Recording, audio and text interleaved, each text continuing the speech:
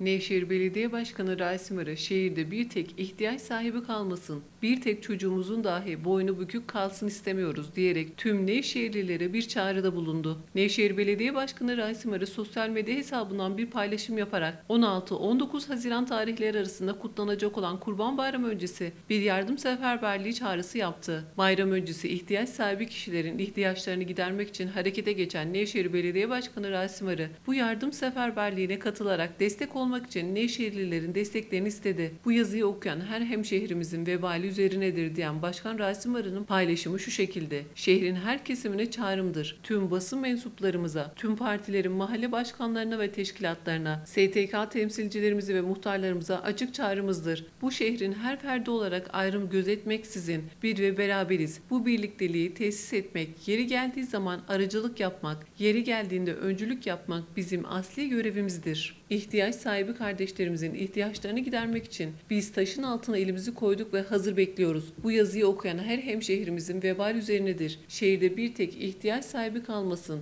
bir tek çocuğumuzun boynu bükük kalsın istemiyoruz. Bayramımızı bayram edelim. Sizlerden bir süredir aldığımız talepleri ekiplerimiz kapınıza getirirken diğer ekiplerimize sosyal işlerden sorumlu danışmanımız Ayşe Arahan'ın öncülüğünde taleplerinizi alacak. Siz talep edin, ekiplerimiz emrinizde. Duyan duymayanı duyursun. Evlatlarımıza farklı yönlerden destek olmak isteyen hayırseverlerimizi de belediyemize davet ediyorum.